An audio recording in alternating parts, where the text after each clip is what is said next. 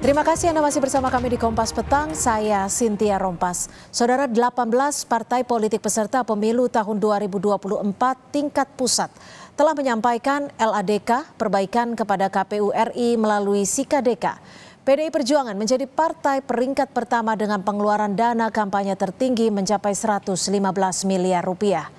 Dalam data laporan awal dana kampanye atau LADK yang kami terima dari KPU per 12 Januari 2024, PDI Perjuangan menduduki peringkat pertama dengan penerimaan dana kampanye 183,8 miliar rupiah dan pengeluaran dana kampanye 115 miliar rupiah. PSI menduduki peringkat kedua partai dengan dana kampanye 33 miliar rupiah dan pengeluaran dana kampanye 24,1 miliar rupiah. Sementara Partai PAN di peringkat ketiga dengan dana kampanye 29,8 miliar rupiah dan pengeluaran dana kampanye 22,4 miliar rupiah. Sementara PBB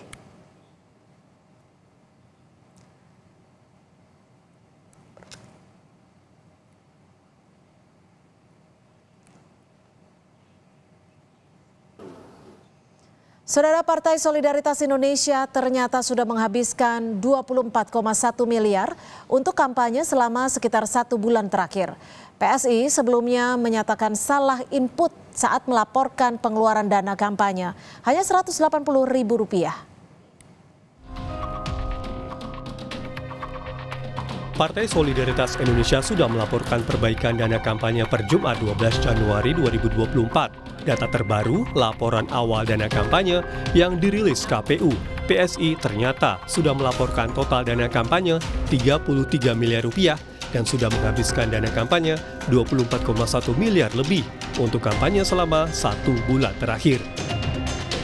Partai berlogo bunga mawar itu sebelumnya melaporkan pengeluaran dana kampanye cuma Rp180.000 dan sudah direvisi pengurusnya untuk perbaikan laporan awal dana kampanye ke KPU Jumat kemarin.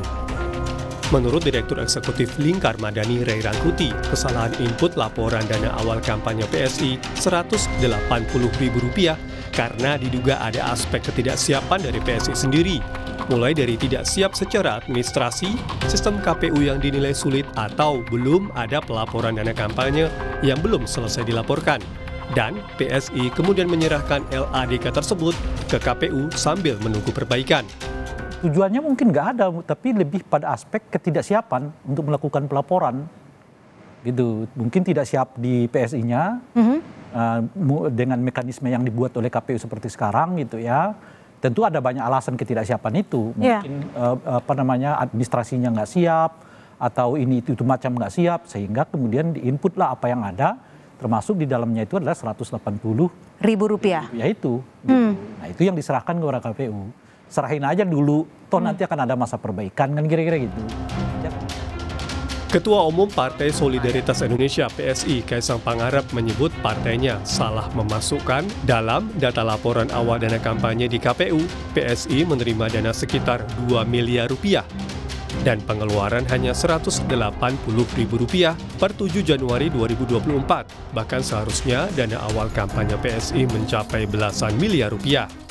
Ini yang kita yang 180 ribu, iya, iya. itu salah input nanti dibenerin nanti bendahara umum yang akan infokan. Udah, udah. Berarti salah input doang mas atau? Iya itu salah. Ada nanti sekitar berapa ya? Belasan kalau nggak salah. Belasan apa nih? Belasan juta? Belasan Saya belasan juta sih. Belasan miliar mas? Ada ada. Nanti nunggu aja nanti ada dari bendahara umum aja langsung. Belasan rupiah, belasan juta, apa belasan miliar? Ya itu. Oh.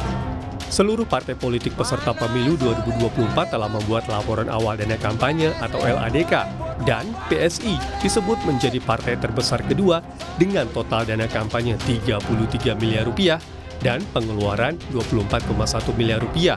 PSI tercatat sebagai partai dengan biaya kampanye terbesar kedua setelah PDI Perjuangan yang telah menghabiskan dana 115 miliar rupiah. Tim Liputan Kompas TV